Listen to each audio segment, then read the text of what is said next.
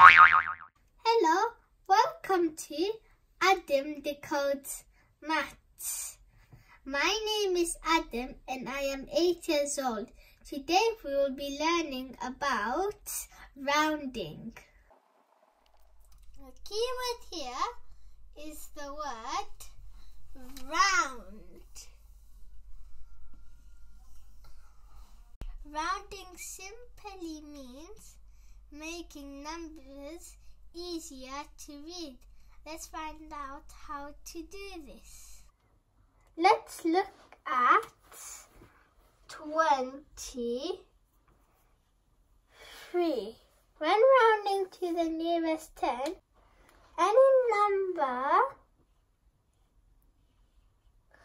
that ends with 1, 2, 3, 4 rounds down. So 23 rounds down to 20. Let's take a look at a few more examples. 31. 31 ends with 1. That means it rounds down to 30. Let's take another example.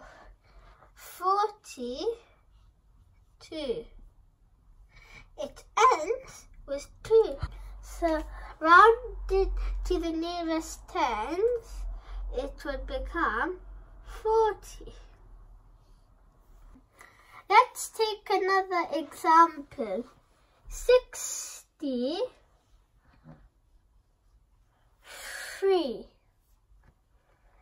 It ends with 3. So, round it to the nearest 10. It will become 60. Let's take another example.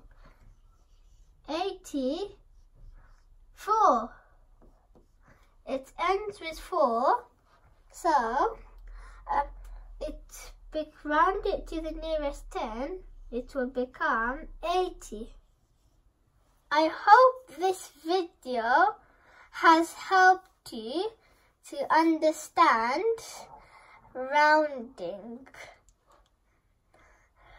Remember to subscribe, share with all your families and friends. Comment below and like my videos. Bye!